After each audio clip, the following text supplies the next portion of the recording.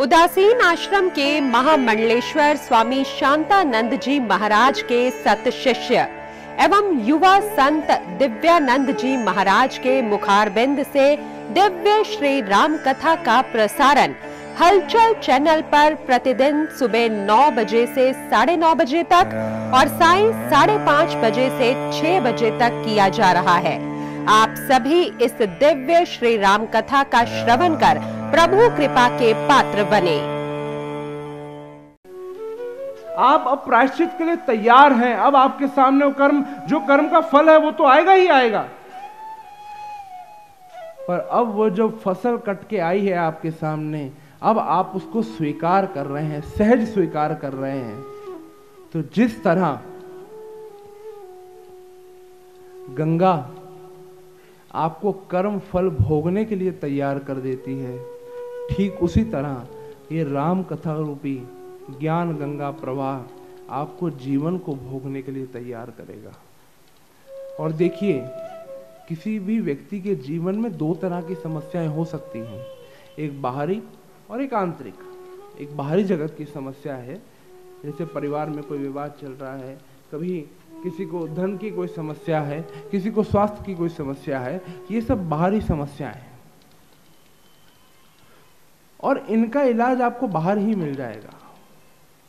पर असल गुत्थी किसी भी व्यक्ति के जीवन में तब उलझती है जब उसे आंतरिक समस्याएँ घेर लेती हैं। हमारे जीवन में कुछ भी गलत होता है या हमारे अनुसार कुछ भी अशुभ होता है तो हम सबसे पहले प्रश्न क्या करते हैं? मेरे साथ ऐसा क्यों हुआ? मैंने ऐसा क्या किया? मैंने किसी का क्या बिगाड़ा? हर कोई करता है ना प्रश्न? भगवान को मैं ही एक मिला। क्योंकि हमें पता नहीं है कि इसमें हमारा कितना हाथ है। आज परिस्थितियाँ ऐसी हैं देवी और सज्जनों कि हमारे घर बड़े हो गए, पर परिवार छोटे हो गए। आज दुकानों पे दवाइयाँ बहुत अच्छी अच्छी मिलने लगी, परंतु हमने अपनी सेहत बहुत खराब कर ली। आज हमने खूब पैसा कमा लिया। शांति कहीं ना कहीं खो गई और मुझे एक बहुत सुंदर बात लगती है कि हम मनुष्यों ने, मनुष्यों की जनसंख्या तो बहुत बढ़ा ली। परंतु इतनी जनसंख्या में मनुष्यता ढूंढना बड़ा मुश्किल है। मनुष्य बहुत है हमारे पास, पर मनुष्यता ढूंढना बड़ा मुश्किल है।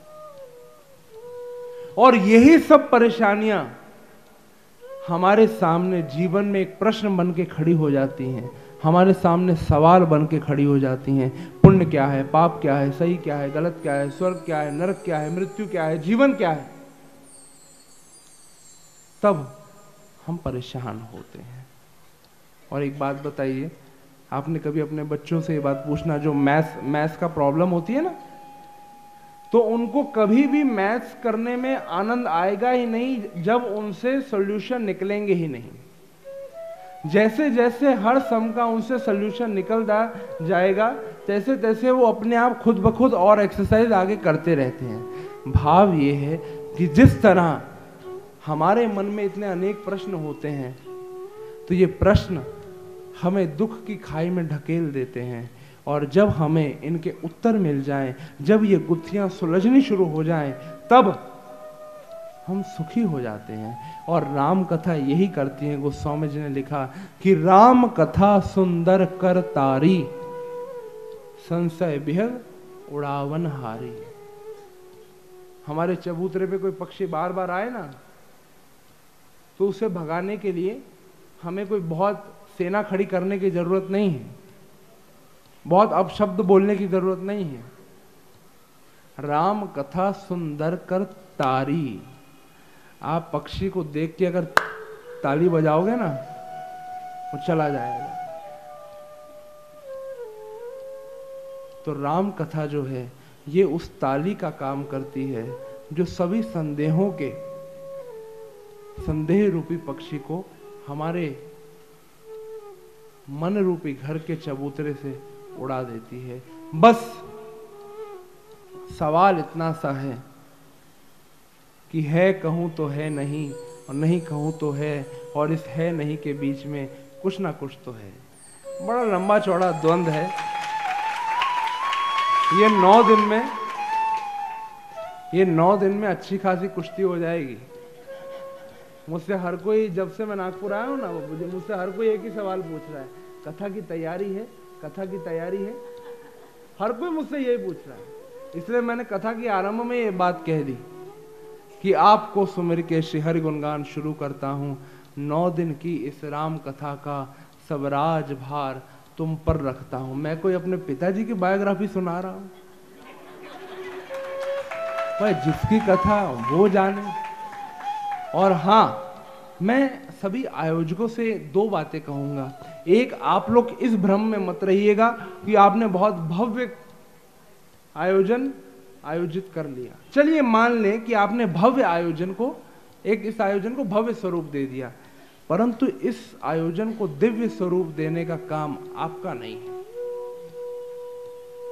ये मेरा निजी अनुभव है कि भव्यता इंसान खुद पैदा कर सकता है, पर दिव्यता सच में कृपा से आती है। और मैं सभी आयोजकों को यह निवेदन करूँगा कि देखिए, आपने कोई व्यवस्था अच्छी की होगी तो भी कथा के बाद चार लोग बोलेंगे, ये अच्छा नहीं था, वो अच्छा नहीं था। और आपने कहीं चूक रख दी होगी, फिर तो उनको, उन्होंने उन्होंने तो बोलना ही है। तो समाज में चार लोग आपके बारे में क्या कह रहे हैं, क्या नहीं कह रहे हैं? सिर्फ़ इन्हीं चीज़, आज अगर आपका आयोजन की सबने प्रशंसा की ना तो भी उससे अपना मन मत भरिएगा। ये मुख्य बात जो है, ये मैं आयोजकों से कह रहा हूँ। क्योंकि सच में ऐसा ना हो, मैं जानता हूँ कि सेवा एक बहुत बड़ा, अपने आप में एक तप है सेवा करना। सेवा में, सेवा का फल ही तब मिलता है जब व्यक्ति अपने आप को भूल जाए सेवा करते हुए। अगर आप ऐसी सेवा कर रहे हैं तो मैं आपको ये स्वतंत्रता भी देता हूँ कि आप अगर कथा नहीं सुन पाए तो ना सही। आपकी सेवा आपके लिए एक नया द्वार खोल सकती है, एक नया आयाम खोल सकती है, परंतु आप सब अपने दिल पे हाथ रखिए, अपने आप से पूछिए, क्या आप सेवा इस भाव से कर रहे हैं कि अगर किसी ने भी आपका नाम स्टेज से नहीं लिया, किसी भी बैनर में आपकी फ़ोटो नहीं आई, किसी भी आयोजक समिति में आपको नहीं बुलाया गया, और फिर भी आपके मन में कोई द्वेष नहीं है। आप फिर भी उतनी सरलता, सहजता, मुस्कान के साथ इस कथा में अपनी सेवा दे पा रहे हैं तो विश्वास कीजिए, नहीं सुनेंगे, चल जाएगा। आप अपना काम करो। पर हमें अक्सर जो देखने को मिलता है कि ऐसा होता नहीं है। आदमी थोड़ा सा काम करता है और उसके बदले में बहुत सारा यश चाहता है। ठीक है, यश भी मिले, परंतु राम कथा यही सिखाती है कि आप अगर समाज के चार लोगों से प्रशंसा सुनने में ही अगर आप सुखी हैं तो विश्वास कीजिए, ये कथा आपके लिए है ही नहीं। बड़ी कठोर बात है, परंतु सच कह रहा हूँ, अगर आप सिर्फ़ समाज के चार लोगों के पीठ पे दी हुई थपकी से प्रसन्न हो रहे हैं तो विश्वास कीजिए, ये कथा आपके लिए नहीं है। आप गलत जगह आके बैठे हैं। परंतु, अगर आप राम के चरित्र की ओर एक दृष्टि डालते हैं, हम नौ दिन इस चरित्र को मैं एक और निवेदन करूँ आप सबसे। मैंने कहा ना, आज तो सिर्फ़ तैयारी है। मैं आप सबसे निवेदन करूँगा बहुत संतोष गुरु जी ने बहुत सुंदर बात कही कि ये धार्मिक ग्रंथ नहीं है, ये ऐतिहासिक ग्रंथ नहीं। और ऐसे धार्मिक भी कहते हैं ना तो अब वो तो बेचारे बाध्य हैं, उनको तो पाँच दस मिनट बोलना है। तो धर्म की व्याख्या कहाँ करने बैठेंगे? परंतु नौ दिन में कभी अवसर मिलेगा तो ज़रूर इस पर हम चर्चा करेंगे कि धर्म अलग चीज़ है, संप्रदाय अलग चीज़ है। ये ऐतिहासिक ग्रंथ नहीं है साहब, ये धार्मिक ग्रंथ भी नहीं है। ये एक सांस्कृतिक महाकाव्य है। सांस्कृतिक महाकाव्य उसे कहते हैं जो व्यक्ति को सुसंस्कृत करता है, जो व्यक्ति को सही गलत की समझ बताता है, जो व्यक्ति को जीना सिखाता है, जो व्यक्ति को उसकी संस्कृति में ढालता है, उसे सांस्कृतिक महाकाव्य कहते हैं। और इसीलिए आप जब नौ दिन में राम को सिर्फ़ भगवान ना समझें, आपने अगर आज मेरे वक्तव्य के आरंभ में राम को ईश्वर समझ लीजिए अगर लिया तो मेरा विश्वास कीजिए, आखिरी दिन तक आप राम से कुछ नहीं सीख पाएँगे, क्योंकि मन में एक ही बात रहेगी, अरे वो तो भगवान थे। उनकी बात अलग है, उनकी लीला अपरंपार। ये सब बातें कह के अपने मन को बुद्धू बना रहे हो, अपने मन को मूर्ख बना रहे हो। पहले दिन ईश्वर मत मानो, और मैं, मेरा दावा है, नौवें दिन ये प्रश्न मैं दोबारा आपसे पूछूँगा, और तब आप ही कहोगे कि भगवान राम है वो। वो व्यक्ति अपने कर्मों से राम भगवान बना है। इसीलिए आज गोस्वामी जी द्वारा रचित श्री राम कथा में, श्री रामचरित मानस को आधार बनाकर हम राम कथा में प्रवेश करने जा रहे हैं। मैं पुनः आपसे यही निवेदन करूँ कि इस कथा के लिए अपने आप को सज्ज कीजिए साहब। नौवें दिन आपको ये मैं बात बताऊँगा। कि क्या हुआ? अगर चार लोगों ने आपकी प्रशंसा नहीं की, आपका कहीं नाम नहीं आया, अगर आप राम जैसा चरित्र जीते हैं, इस चरित्र को आप अपने जीवन में उतारते हैं तो फिर समाज आपकी क्या प्रशंसा करेगा साहब? फिर कौन प्रशंसा करता है? ये नौवे दिन ही बात करेंगे। भगवान की प्रशंसा सिर्फ़ अयोध्या वासियों ने नहीं की आखिरी दिन मैं इस पर विस्तार से चर्चा करूँगा। बात यह है कि आपके जीवन की प्राथमिकता क्या है? क्या आप समाज के कुछ लोगों की तारीफ़ से प्रसन्न होना चाहते हैं? या हमारा लक्ष्य कुछ बड़ा है? चुनाव आपका है। वरना रही बात राम कथा की तो राम कथा तो एक श्लोक में भी पूर्ण हो जाती है। आदौ राम तपो वनादिगमनम हत्वा मृग कांचनम वैदेही हरणम जटायु मरणम सुग्रीव संभाषणम बाली निग्रहणम समुद्र तरनम लंकापुरी दहनम पश्चात द्रावण कुंभकर्ण हरणम ये तद्धि रामायणम। इतनी सी तो है रामायण, एक श्लोक में हो गई। और बताओ, नौ दिन अब क्या बोलूँ मैं? संतोष गुरु जी टारसी के हूँ? बताते हैं, मुझे एक पास में गाँव है। तो गाँव में जब लोग बातचीत करते हैं ना तो पेड़ के नीचे कुछ बुज़ुर्ग जैसे चाय वगैरह पी रहे थे तो उनमें से किसी ने बोला ये बात कि भाई रामायण में धराई क्या है? एक राम, एक रावन्ना, एक छत्री एक बामन्ना। एक क्षत्रिय है और एक ब्राह्मण है। एक राम, एक रावन्ना, एक छत्री एक बामन्ना और बा ने बा की तिय तिय है स्त्री। रावण ने भगवान की पत्नी का हरण किया ना तो वा ने वा की तियहरी और बा से वा की बाट ठनी और बात का बन गया बातरना, तुलसी लिख गए पोथरना।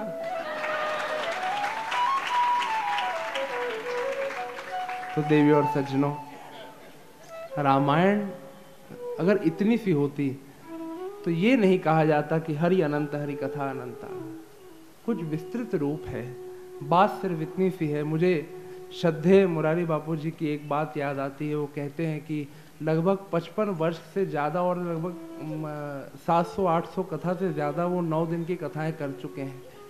और उन्होंने बात कही तो मेरी आँखें भर आई, उन्होंने एक बात बहुत सुंदर लगी मुझे उनकी बात।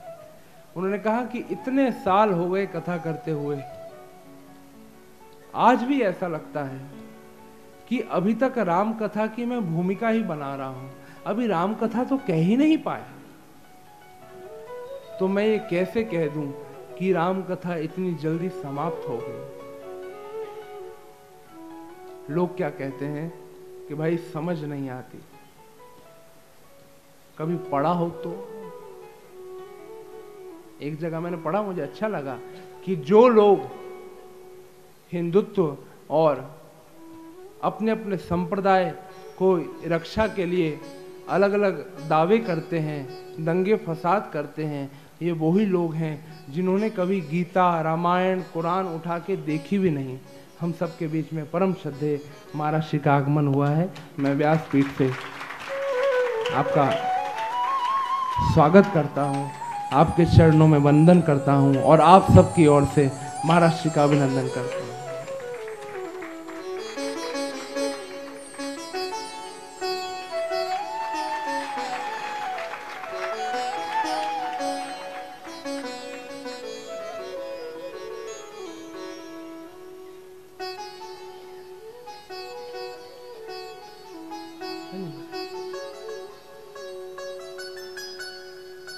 हम सब का बड़ा सौभाग्य है।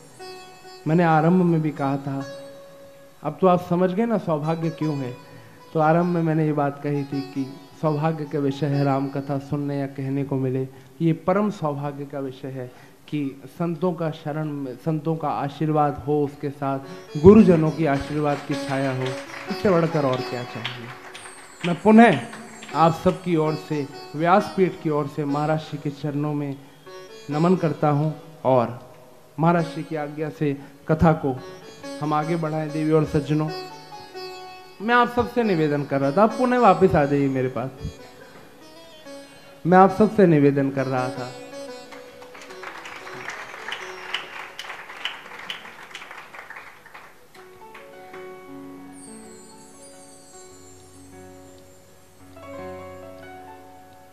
तो देवी और सज्जनों हम कहते हैं ना, समय बदल गया। समझ नहीं आती ये सब बातें।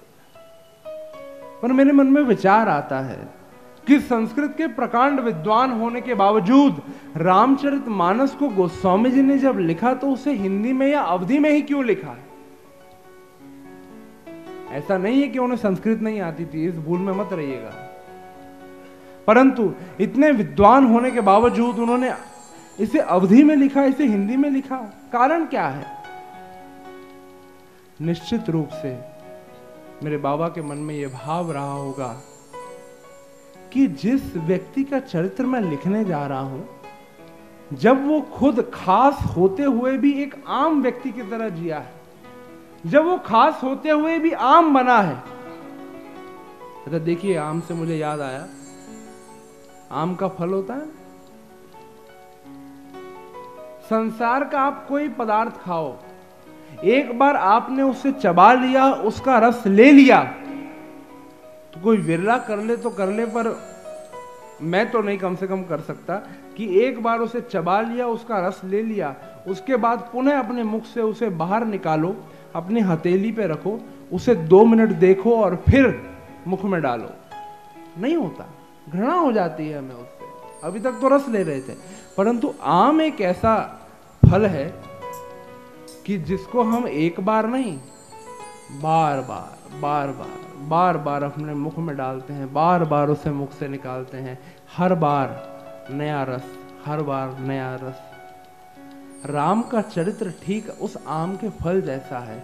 आप जितना प्रयास करेंगे, बार बार इसे हम मुख में मुख में अर्थात बार बार इसे सुनते हैं। बार बार जीवन में ढालने का प्रयास करते हैं, फिर कोई नई बात, फिर कोई नई बात, फिर कोई नई बात समझ आती। है तो निश्चित रूप से गोस्वामी तुलसीदास जी के मन में यह बात रही होगी कि जिस व्यक्ति का मैं चरित्र लिखने जा रहा हूँ, जब वो खुद आम बना है तो उसके ऊपर लिखा गया सदग्रंथ इतना खास कैसे हो सकता है? खास का भाव? बाबा ने यह विचार किया होगा कि रामचरित मानस ये घर घर तक पहुंचनी चाहिए। ये एक ऐसा अद्भुत एवं विलक्षण ग्रंथ है देवी और सज्जनों, जिसमें हमें कथा और उपदेश का मणिकांचन योग प्राप्त होता है। अधिकतर सदग्रंथों में हमें केवल उनके विषय से संबंधित सामग्री ही पढ़ने को मिलती है, परंतु रामचरित मानस एक ऐसा सदग्रंथ है जिसमें कथा और उपदेश का मणिकांचन योग मिलता है। जहाँ कथा के साथ साथ गोस्वामी जी ने उपदेशों को इतने सरल ढंग से आम आदमी के सामने रखा कि मानस के लिए एक बात कही जाती है कि मानस की चौपाइयों को एक चरवाहा भी समझता है और मानस के प्रसंगों के ऊपर लोग पीएचडी भी कर रहे हैं। ये सरल है तो इतनी सरल है कि चरवाहा समझे और कठिन है तो फिर लोग डिग्रियाँ पा रहे हैं इसके ऊपर। तो बाबा का यही मनोभाव है कि मानस घर घर तक पहुंचनी चाहिए। ये केवल विद्वानों की पुस्तकालय की शोभा नहीं बनकर रहनी चाहिए। ये केवल हमारे मंदिरों में आरती के लिए नहीं रखी जानी चाहिए, बल्कि हम जहाँ बैठते हैं, जहाँ पढ़ते हैं, जहाँ हमारा रोज का आना जाना है, ज़्यादातर समय मानस उसके आसपास हो। कभी भी समय मिले, आप उसे उठा के पढ़िए। आपके एक हाथ में आप चाय पी रहे हैं, कॉफ़ी पी रहे हैं, एक हाथ में मानस है। अरे कोई दिक्कत नहीं। कितने उलझनों में पढ़ोगे पहले कुछ कर तो लो, पढ़ तो लो, समझ तो जाए कुछ। और जैसा मेरा भाव रहा कि राम कथा। संतोष गुरु जी ने एक और बहुत सुंदर बात कही, मुझे अभी ध्यान आई। कि कथा उस व्यक्ति की नहीं है। कथा तो कायदे से गुणों की है। असल में देवियों और सज्जनों, हम इसे बड़ी सरल उदाहरण से समझें कि जैसे हमारे घर में कोई घटना घट जाए या हमारा किसी के साथ झगड़ा हो जाए तो हम क्या कहते हैं, भाई, ज़्यादा बात करने की ज़रूरत नहीं है। तुम्हारा और तुम्हारे परिवार का सारा कच्चा चिट्ठा है हमारे पास। कहते हैं ना? और कायदे से देखा जाए तो महाराज दशरथ और उनके परिवार में घटने वाली घटनाओं का ये कच्चा चिट्ठा नहीं है तो क्या है? और ऐसे ठेठ शब्द का प्रयोग भी मैं इसलिए कर रहा हूँ, क्योंकि हम जानते हैं कि कुछ घटनाएँ ऐसी होती हैं जो हमारे घर की दहलीज को लांग नहीं पाती। भाव यह है कि घर में घटित होती हैं, घर तक ही सीमित रहती हैं, पड़ोसी को भी पता नहीं चलता। और जो पति पत्नी है, उनके बीच में कुछ ऐसी बातें होती हैं, कुछ ऐसी घटनाएँ होती हैं, जो केवल और केवल उनके कमरे तक सीमित होती हैं, उनके कमरे के बाहर नहीं जाती। हर बात की एक सीमा है, एक मर्यादा है। परंतु कुछ बातें, कुछ घटनाएँ ऐसी होती हैं जो घर की दहलीज को लांग कर गली, मोहल्ले, शहर, राष्ट्र, विश्व, इन सब में चर्चा का विषय बन जाती हैं, अखबार की सुर्खियाँ बन जाती हैं, इतिहास के पन्नों में दर्ज हो जाती हैं ये घटनाएँ। और तब वो घटनाएँ उस परिवार का कच्चा चिट्ठा कहलाती है। महाराज दशरथ के परिवार में जो कुछ घटा वो उस समय भी, आज हम कहते हैं ना, महाराज, कलयुग आ गया है, परिस्थितियाँ बदल गई हैं। अरे, हमने भोगा ही कितना वहाँ परिस्थितियाँ आप देखो तो सही। नौ दिन में हम पूरे हर बिंदु के ऊपर विचार करेंगे कि जो पारिवारिक समस्याएँ आज हमें देखने को मिल रही हैं, ये उस समय महाराज दशरथ के परिवार को भी देखनी पड़ी। परंतु उस परिवार में एक पात्र, एक चरित्र ऐसा था, जिसने अपने जीवन की हर प्रतिकूलता को अनुकूलता में बदल दिया। जब लोगों ने उन्हें सिंहासन से जंगल में भेजने का सोचा तो उन्होंने जंगल को ही अपना राज्य बना लिया।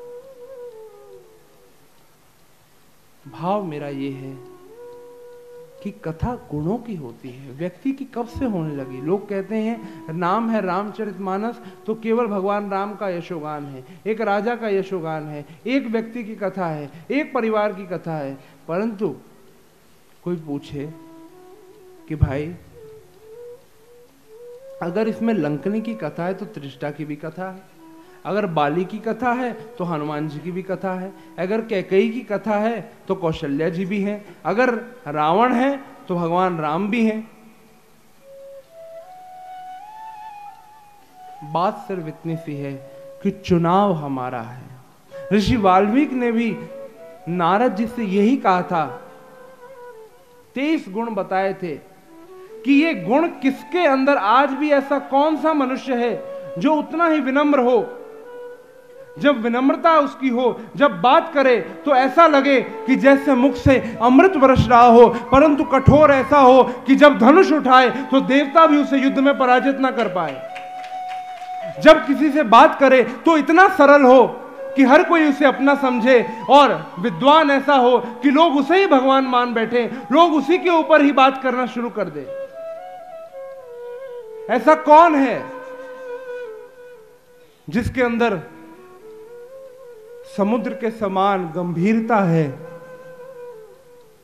ऐसा कौन है जिसका मन आकाश की तरह विशाल है? तेईस गुण बताए हैं। तब नारद जी ने कहा था कि ये एक व्यक्ति के अंदर मिलना बड़ा मुश्किल है, परंतु एक है अयोध्या के राजा राम। भाव मेरा यह है कि चुनाव आपका है। ये कथा तो गुणों की है। गोस्वामी जी ने सूत्र छोड़े। आपको एक छोटा सा प्रसंग सुनाऊं। एक पिता के दो बच्चे थे। पिता था अव्वल दर्जे का शराबी। और निश्चित रूप से जब वो शराब पी के आएगा तो घर पे आके कोई बच्चों की और पत्नी की आरती तो उतारेगा नहीं। पत्नी के साथ दुर्व्यवहार करना, उस पर हाथ उठा देना, बच्चों के साथ दुर्व्यवहार, उन्हें अपशब्द बोलना, ये सब उनके घर में रोज होने वाली घटना थी। समय बीतता गया, पिता की मृत्यु हुई और दोनों बच्चे बड़े हुए। संयोगवश जो बड़ा बेटा था, वो एक बहुत सफल व्यक्ति बना, बहुत अमीर और बहुत सफल। पर जो उसका छोटा भाई था, वो अपने पिता की तरह अव्वल दर्जे का शराबी बन गया और वही सब करने लगा जो गलतियाँ उसके पिता करते थे। जब ये बात मीडिया में पहुँची तो सबने सोचा, भाई, दोनों सगे भाई हैं, फिर भी एक इतना सफल और एक ऐसा? कारण क्या है, पूछें? तो पहले छोटे भाई के पास गए, भाई, बड़े से तो अपॉइंटमेंट लेनी पड़ेगी ना तो छोटे के पास गए और उसको पूछा कि आपका बड़ा भाई इतना सफल है और आप ऐसे कर्म कर रहे हैं, इसका कारण क्या है? आप इस गति में उसने बड़ा कमाल का जवाब दिया कि भैया, असल में बात यह है कि हमारे जो पिताजी थे, वो बहुत बड़े शराबी थे। और हमने बचपन से उन्हें अपनी माँ को मारते हुए देखा है, हमारी माँ को अपशब्द कहते हुए देखा है। हमारे साथ कभी उन्होंने उचित व्यवहार तो किया नहीं। अब आप एक बात, बताओ कि शराबी का जो बेटा है, वो शराबी नहीं बनेगा तो क्या बनेगा? अब उस बड़े भाई के पास गए, उससे पूछा, भाई, आपके छोटे भाई की ये गति है और आप इतने सफल हैं, कारण क्या है? तो उसने भी बड़ा कमाल का जवाब दिया। बोले, असल में भैया, बात यह है कि मेरे पिताजी बहुत बड़े शराबी थे। वो रोज घर आते, मेरी माँ के ऊपर हाथ उठाते, मेरी माँ के साथ दुर्व्यवहार करते, कभी हमारे साथ उन्होंने उचित व्यवहार नहीं किया, हमें अपशब्द बोलते। तो रोज उनको ही ऐसा करते, देखते देखते मैंने बचपन में एक बात तो समझ ली थी कि शराब पीऊँगा तो ये सब होगा। और उस समय मैंने मन में ये संकल्प ले लिया था कि ज़िंदगी में कुछ हो जाए, शराब को कभी हाथ नहीं लगाऊँगा। भाव ये है कि कथा गुणों की है, चुनाव आपका है। आपके सामने रावण भी है, आपके सामने राम भी है, आपके सामने बाली भी है, आपके सामने हनुमान भी है। हमारे साथ दिक्कत सिर्फ़ इतनी सी है कि हम आरती राम की उतारते हैं और आचरण रावण का रखते हैं। पाठ हनुमान चालीसा का करते हैं और कृत बाली के होते हैं। और जैसा कि मैंने आपसे कहा, राम कथा आपसे ज़्यादा कुछ नहीं मांगती, बस एक चीज़ है। कि आप अपनी जिज्ञासा बनाए रखें।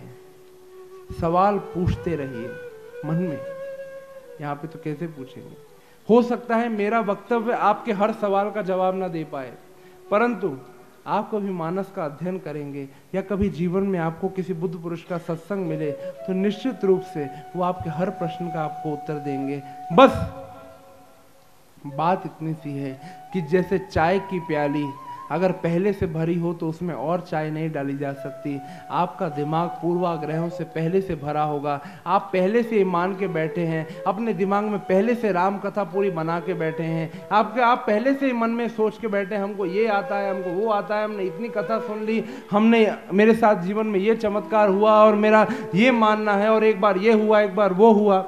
ये सब आपके पूर्वाग्रह हैं। इन सबको जैसे बाहर जूते उतार के आए हैं, ये सब बाहर छोड़ के आइए।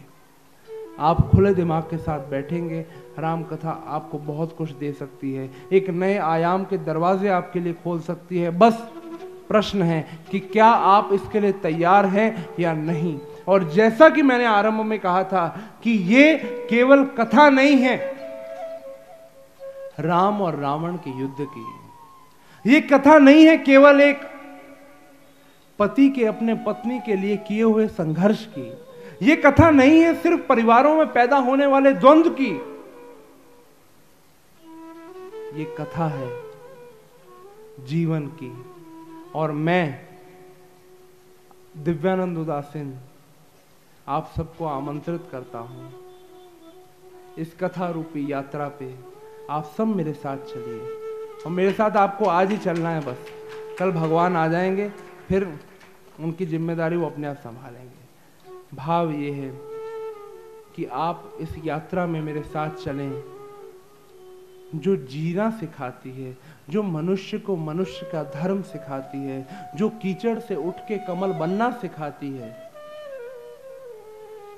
और ईश्वर कृपा करे, ये राम कथा हम सब के लिए शुभकारी हो, हम सब के अंदर धर्म के बीज स्थापित हों। इसी शुभकामना के साथ आइए देवी और सज्जनों, गोस्वामी जी ने संवत सोर से इकतीसा कहूँ कथा हरिपद धर सीसा। नौमी भौम बार दिन मासा, अवधपुरी यह चरित प्रकाशा। 1631 में नवमी की तिथि पे मंगलवार के दिन दोपहर को 12 बजे रामनवमी के दिन